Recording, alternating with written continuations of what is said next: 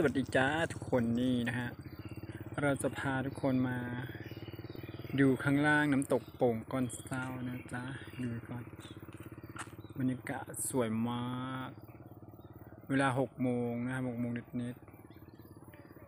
ๆนะฮะนี่จะเป็นข้างล่างนะฮะไม่ใช่ข้างบน ข้างบนขึ้นไม่ได้จ้าวันนี้ฝนตก น้ำมันหมดด้วยนะฮะ ดู สวยงาม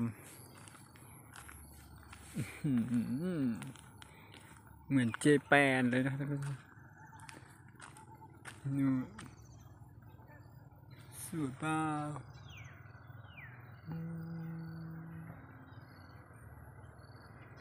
ดูดีเนาะ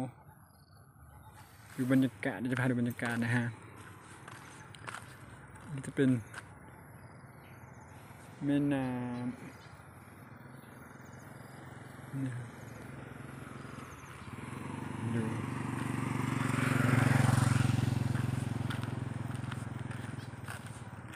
นี่นะฮะ ห้ามลงเล่นน้ำโดยเด็ดขาด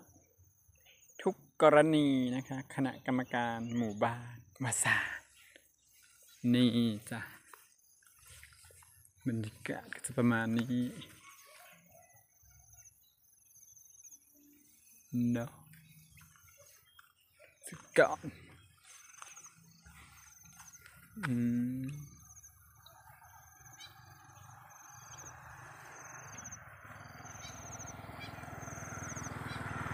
นี่ครับอืม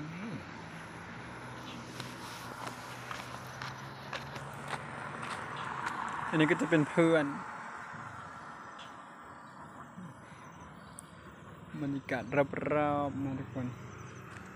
ดูสักก่อนเอ้าทำไมหลายรอบทัสูใจดาวแล้วเนี่ยไม่คิดถึงใจว่าอืม ไม่ใช่คนอ้วนค่ะแค่นี้นะทุกคนนี่คือบรรยากาศนะจ๊ะสวยมาก ๆ เลย บ๊ายบาย